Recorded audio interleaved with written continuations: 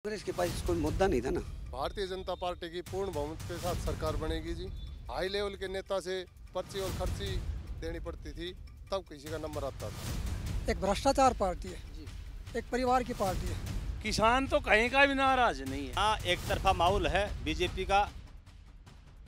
नमस्कार the news 15 देख रहे हैं आप। मैं हूँ आपके साथ तनुज दीक्षित। हरियाणा में विधानसभा चुनाव चरम पर है। पाँच तारीख को मतदान होने जा रहा है। आठ अक्टूबर को परिणाम आएगा। ऐसे में आज हम आप पहुँचे हैं अटेली विधानसभा में। यहाँ से भारतीय जनता पार्टी की प्रत्याशी हैं आरती सिंह राव।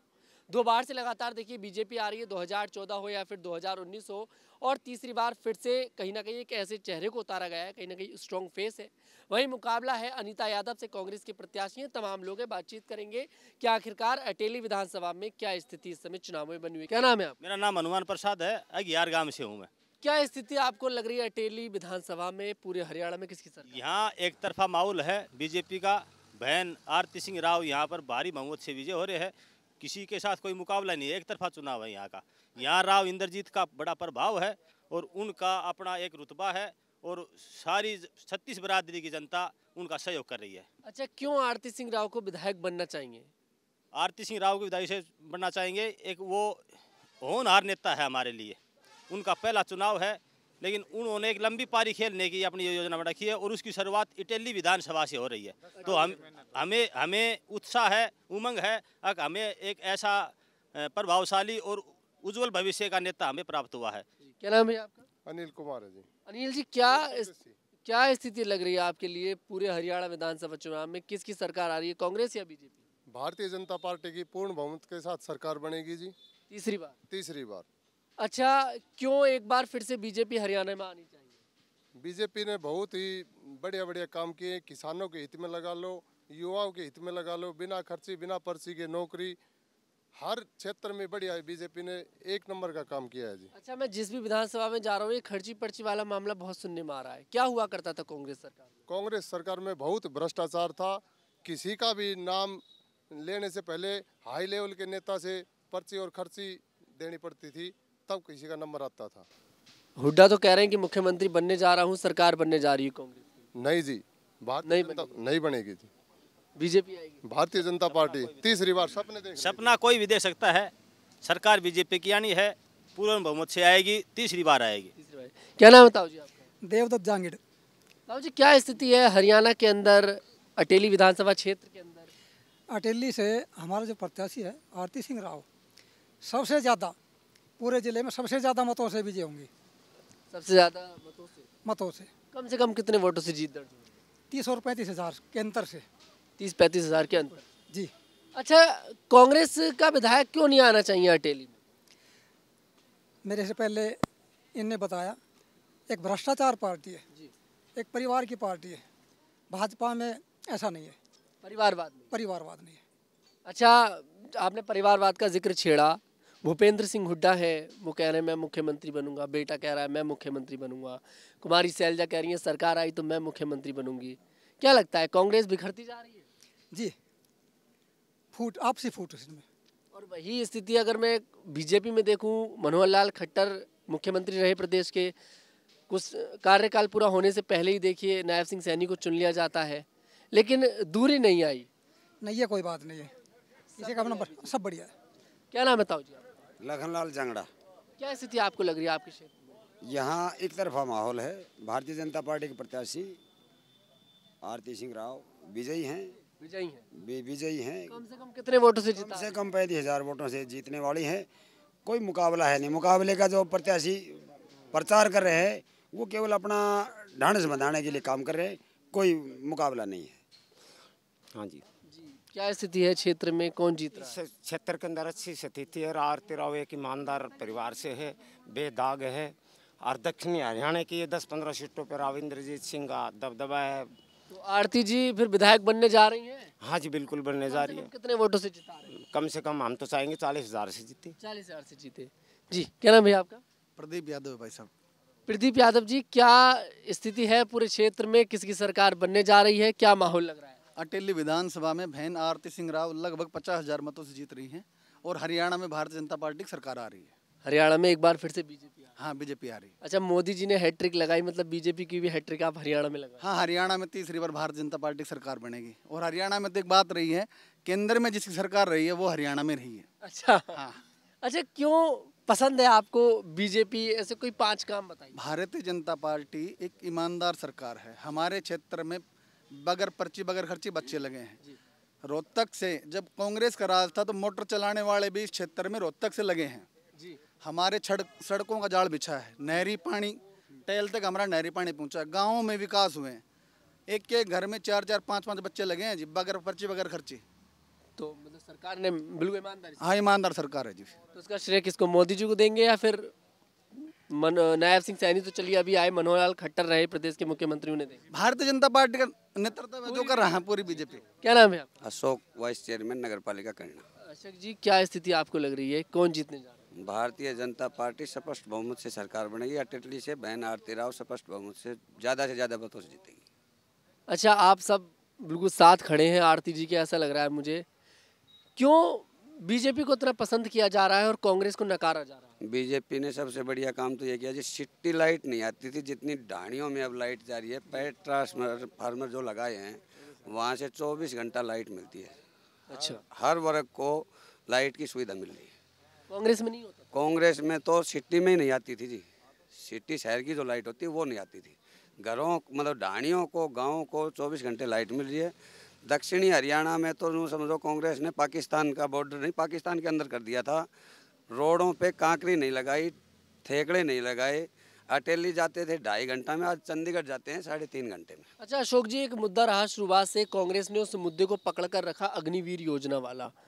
हालाँकि देखिए प्रदेश की सरकार ने कह दिया है कि जो भी अग्निवीर योजना का जो भी सैनिक होगा जब वो रिटायर हुआ से होकर आएगा पाँच साल का उसको नौकरी दी जाएगी।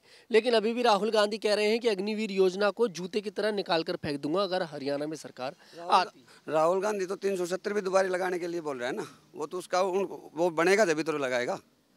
अग्निवीर योजना जो बच्चा मैं मेरी सोच बता रहा हूँ जो बच्चे की जो चार साल की जो ये नौकरी है उसमें बिगड़ने की जो उम्र होती है उसमें से एक आधा बिगड़ सकेगा बाकी सभी लाइन पे रहेंगे बच्चे।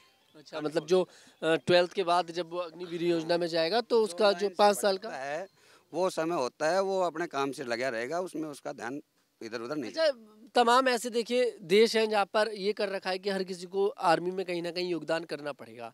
अगर बीजेपी एक इस तरह की चीज़ को लेकर आई अग्निवीर योजना को लेकर तो इसमें कांग्रेस को दिक्कत समझ में नहीं आई कि आखिरकार कांग्रेस इसमें बीच में टांग क्यों कांग्रेस के पास कोई मुद्दा नहीं था ना। इसलिए इसलिए उसका मुद्दा बना लिया। लोग बैग भी जाते हैं कोई छोटे मोटे कोई एक आधा बैग गया कोई अफवाह फैलाती है अफवाह फैलाती है। जैसे क्या इस बार अभी चुनाव में हाल ही में क्या अफवाह फैलाती नज़र आ रही है? नहीं अभी तो फैल रहा फैल लिया था स- किसानों वाला मुद्दा भी बहुत पकड़ा कांग्रेस ने। को तो किसानों से तो हम मिलते हैं जी हम भी किसान ही हैं। अच्छा। इतने खुश हैं भावांतर समय से पहले डल जाता है। अगर अनाज नहीं खरीदती फ़सल नहीं खरीदती सरकार तो भावांतर डल जाता है। फ़सल खरीदने के सप्ताह के अंदर पेमेंट डल जाती है सप्ताह तो बेचने में लग जाता था। लोगों को लाइनों में लग के पाँच पाँच सात सात दिन में नंबर आता था कांग्रेस के राज में और वे दो दो पाँच पाँच रुपए के चेक लोगों के पास अब भी धरे हुए हैं इतना मज़ाक किया था। किसानों के साथ। तो मतलब किसान खुश है? बिल्कुल बीजेपी से खुश हैं राव इंद्रजीत सिंह से ज़्यादा खुश हैं। जी वो ईमानदार और साफ़ सफरी के धनी हैं। बहन आरती राव में हमारी इतनी आस्था है अल- अलका टेली का भविष्य उज्जवल होता दिखाई देख रहा है। क्या नाम बताओ जी आपका? सुबेदार सतपाल सिंह आर्मी से रिटायर हूँ मैं। अच्छा आप आर्मी से रिटायर है तो आपसे तो मुझे बात करने में और मज़ा आएगा अग्निवीर योजना पे।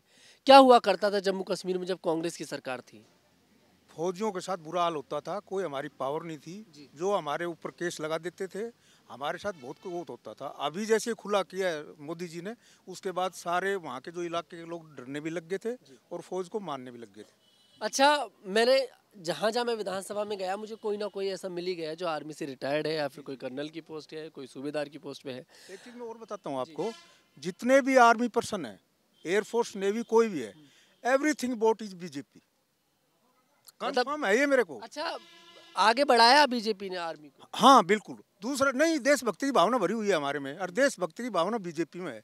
तो हमारा इनसे टच ही होना ज़रूरी है। दूसरा राव इंद्रजीत यहाँ का सांसद न होते हुए भी यहाँ टेली में इतना काम किया करीना में सी एस डी कैंटीन है जो आर्मी कैंटीन है ये। मैं डील कर रहा था राव साहब जब थे रक्षा राज्य मंत्री उस टाइम में राव साहब ने खुलवाई। अच्छा। तो कल मैं हम वहीं बैठे हुए थे कि कल भाई जितने भी आदमी आते हैं फौजी के जो भी परिवार है वो सब बीजेपी को वोट देंगे। जो को पसंद- है हाँ। क्योंकि यहाँ कैंटीन खुली हुई है। पहले हमें महेंद्रगढ़ जाना पड़ता था नारनौल जाना पड़ता था। दूसरा यहाँ से कोई डायरेक्ट ट्रेन दिल्ली नहीं थी। अच्छा सर अग्निवीर योजना का जो मुद्दा रहा आप इस, इस पर थोड़े से और अच्छे से डिस्क्राइब कर सकते हैं कि आखिरकार अग्निवीर योजना ठीक है या गलत है? ठीक इसलिए है कि उस टाइम में जो ठीक बच्चे हैं उनको सेलेक्ट कर दिया जाएगा। बाकी जो बच्चे नहीं है तो उनको यहाँ प्रोटी दी जाएगी स्टेट में। स्टेट में बाई दवा जो बच्चे वहाँ से निकल गए हैं चार साल के बाद तो उनको यहाँ प्रोटी दी जाएगी स्टेट में। उनको जॉब के लिए सबसे पहले प्रोटी उनको एक्स्ट्रा मार्क दे दिए जाएँगे कि भाई आप यहाँ स्टेट में भी नौकरी कर सकते हो। तो तैयारी मतलब पूरी है पूरी तैयारी है। तो राव साहब इंद्रजीत तो सांसद न होते हुए भी उन्होंने इतने काम किए यहाँ पर। कैंटीन वाला एक मेन मुद्दा था जो मैं हैंडल कर रहा था। कैंटीन खोल दी यहाँ पर सीएसडी कैंटीन हाँ उनमें रिश्तेदार वगैरह हमारे सब जो अड़ोस पड़ोस के कहीं के भी कोई सामान ले सकते हैं। दूसरा यहाँ डायरेक्ट ट्रेन नहीं थी। हमारे को रेवाड़ी में उतर करके बुज़ुर्ग आदमियों को सीढ़ी चढ़ा नहीं जाता था। तो वो बड़ा दिक्कत होती थी। अब यहाँ से बैठो सीधा दिल्ली दिल्ली से यहाँ। क्या नाम है आपका? सर मेरा नाम गोविंद गोस्वामी है। मैं भी एयरफोर्स से रिटायर हूँ। अच्छा आप भी अभी आपने सर से पूछ रहे थे कि अग्निवीर रिक्वायर्ड है। तो मैं डेफिनेटली अब डिस्क्राइब करना चाहता हूँ। अग्निवीर बहुत रिक्वायर्ड है। आज प्रेजेंट इंटरनेशनल सिनेरियो को देखते हुए इंडिया को मज़बूत करने के लिए यंग फोर्स की रिक्वायरमेंट है और इंडिया की जो एवरेज एज है वो 45 46 तक डिसेंट हो गई है।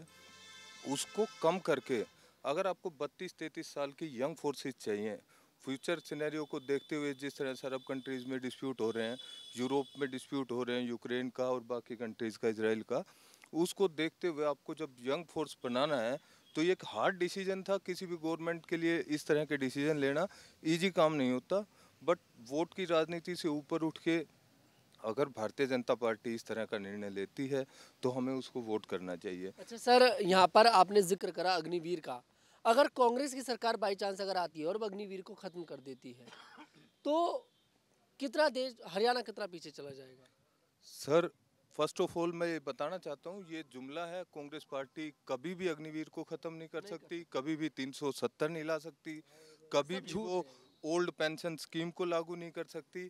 2004 में अटल बिहारी वाजपेयी ने अपनी गवर्नमेंट को दाव पर रख के तो ओल्ड पेंशन को बंद किया था जिससे इंडिया की फाइनेंशियल ग्रोथ एक स्ट्रीमलाइन हुई थी और फाइनेंशियली इंडिया जो आज 2047 में डेवलप नेशन का देख रहा है सपना वो basic foundation stone old pension को बंद करना था। अच्छा सर कितना टाइम तो आपको हो गया रिटायर्ड हुए एयरफोर्स से?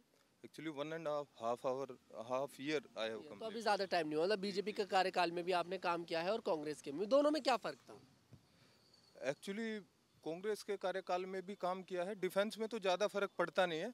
Being a defence person I will never criticise any government but decision making at higher level is always easy at organization working under the Bharatiya Janata Party because we are feeling मंत्रालय पूरी तरह से we are feeling freedom freedom है मतलब BJP right sir क्या नाम बताओ जी? किरण सिंह। किरण जी क्या स्थिति लग रही है आपके क्षेत्र में? कौन जीतने जा रहा है? बीजेपी। बीजेपी। क्यों आनी चाहिए बीजेपी बीजेपी ने बिना खर्चे बिना पर्ची नौकरी लगाई है। विकास कार्य रोडों का एक जैसे एक सौ बावन डी है। पहले चंडीगढ़ जाते थे आठ घंटे लगते थे। अब तीन घंटे में पहुँच जाते हैं। बढ़िया है सब? हाँ बढ़िया बिल्कुल। आरती जी को क्यों जीतना चाहिए? आरती हम तो भाग्यशाली हैं का आरती बहन जी जैसा मज़बूत नेतृत्व हमें मिला है। और सत्तर साल की राजनीति में कोई दाग नहीं है। ठीक है? तो जिताने जा रहे हैं हाँ जी बिल्कुल बिल्कुल। क्या नाम है भैया मेरा प्रदीप कुमार उर्फ़ बलिया। प्रदीप जी क्या माहौल है पूरे अटेली में? क्या माहौल है पूरे हरियाणा में? पूरे हरियाणा में सब कुछ बाज बीजेपी हो रही है। भाजपा हो रही है। हाँ जी। क्यों पसंद है इतनी भाजपा? भाजपा ने काम ही ऐसे करे हैं माननीय नरेंद्र मोदी ने और मनोहर लाल खट्टर ने खट्टर से बाद में सैनी ने। हाँ जी। और अटेली में प्रत्याशी हैं आरती सिंह जी। क्या लगता है कितने वोटों से जीतेंगी? रिकॉर्ड मतों से जीतेगी। रिकॉर्ड मतों हाँ जी। और जो अनीता यादव है कांग्रेस ने उतारा है मैदान में 2014 में भी उतारा था। थी जी। हार गई थी। पिछली बार सात हज़ार पर्ची आई थी लो सी छोरो खड़ियो करियो तो हूँ तो पहले देख लो कितना आया था। तो यहाँ पर तो फिर बीजेपी का ही ज़ोर है। प्योर बीजेपी जी और बीजेपी ने ऐसे ऐसे कहा हमारे क्षेत्र में बाजरा पैदा होता था जिसको सीमेंट बोलते थे। जिसका कोई भाव नहीं होता था। आज गेहूँ से महँगा है साढ़े छब्बीस सौ रुपये साढ़े छब्बीस सौ। किसान खुश है? बिल्कुल खुश मैं भी किसान हूँ। जी। हाँ। तो ये कांग्रेस जो कह रही है कि किसान नाराज़ है कहाँ का किसान नाराज़ है? समझ में नहीं आ रहा। किसान तो कहीं का भी नाराज़ नहीं है। कांग्रेस ने जुमलाबाजी कर कर ये किसाना ने दो दस बीस आदमी ने भड़काए कर कर दो काम। अब फिर आठ तारीख को मान लिया जाए पहली सीट अटेली की निकलेगी? बिल्कुल अटली की निकलेगी क्योंकि अटली की सबसे बड़ी बात तो ये है हमारे प्रिय अहिरवाल के नेता राव तुलाराम की वंशज है वो। अठारह सतावन में सबसे पहला क्रांतिकारी और इस देश के लिए बलिदान देने वाला राव तुलाराम था। जी। उसकी वंशज है। तब तो जिताना है। हाँ जी। क्या नाम बताओ जी? राम सिंह नाम है जी। ताऊ जी क्या स्थिति लग रही है आपको? कांग्रेस आ रही है बीजेपी? यहाँ तो बीजेपी के मुकाबले में कोई कैंडिडेट ही नहीं है। मतलब बीजेपी का कैंडिडेट इतना स्ट्रांग है कि सब फीके हाँ, बिल्कुल फीके हैं जी। और बहुत यंग हैं और हमारा भविष्य हमारे बच्चों का भविष्य है उसके साथ। बच्चों का भविष्य। हाँ। क्या अपेक्षा है बीजेपी की अगर आरती जी जीतती हैं कि भाई अटेली के अंदर सबसे पहले ये काम होना चाहिए? अटेली के अंदर वो जो भी योजना लेके आएगी सबसे पहले अटेली में लागू करवाएगी। अच्छा अगर राज्य में जो भी योजना आएगी सबसे पहले अटेली में अटेली में आएगी। अटेली का इतना ध्यान रखा जाएगा। हाँ जी। क्या नाम है आपका? सत्यवीर सिंह नाम है। सतबीर जी क्या स्थिति है आपके क्षेत्र में? कौन जीतने जा रहा है? तकरीबन सीटों के ऊपर भारतीय जनता पार्टी की जीत है। जी और अटेली में क्या स्थिति है? अटेली में तो बहन जी एक तरफा चुनाव जीत रही है। क्यों आनी चाहिए आरती जी? विधायक क्यों बननी चाहिए? क्या खूबी उनके अंदर? नेता प्रत्येक नेता आते हैं समाज की सेवा के लिए तो बहन आरती राव भी समाज की सेवा के लिए आगे आई है।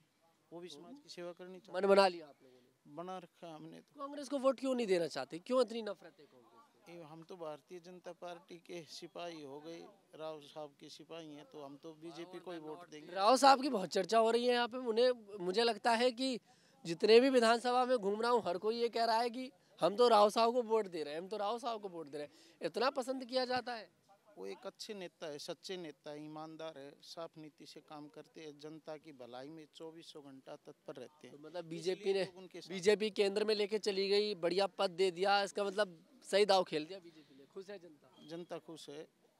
और राव साहब की ए, ये समझो कि आशीर्वाद से तकरीबन सारी सीटें ही जीत जाएँगी। सारी क्या नाम है भैया? मेरा नाम राजकुमार है। राजकुमार जी क्या स्थिति है आपके क्षेत्र में? कौन जीतने जा रहा है? देखो सबसे पहले मैं ये कहना चाहता हूँ जिस टाइम हरियाणा पंजाब इकट्ठे थे तो इस एरिया की पहचान राव तोलाराम साहब से की जाती है। अच्छा। और वो पहला स्वतंत्रता सेनानी था मंगल पांडे के बाद में उन्होंने ही आज़ादी के लिए बिगुल बजाया था। अच्छा। और राव वीरेंद्र साहब भी आर्मी में कमीशन ऑफिसर थे। और तीसरा राव इंद्रजीत साहब हैं वो राज्य रक्षा मंत्री रहे हैं। बींग ए डिफेंस पर्सनल वो नॉट हरियाणा हरियाणा पंजाब के वन ऑफ़ द बेस्ट स्वतंत्रता सेनानियों का परिवार है और इससे हरियाणा के अंदर इससे बढ़िया परिवार नहीं है। जीत होने जा रही है। मैं defence person as a defence personnel कहना चाहता हूँ उनकी हंड्रेड एंड वन परसेंट जीत होगी। अब देखना दिलचस्प होगा कि आखिरकार अटेली विधानसभा क्षेत्र में किसकी जीत दर्ज होती है। आठ तारीख को परिणाम आएगा, देखते हैं कि आखिरकार बीजेपी के प्रत्याशी आरती सिंह राव या फिर कांग्रेस के प्रत्याशी अनिता यादव किसकी जीत इनमें से होने वाली है।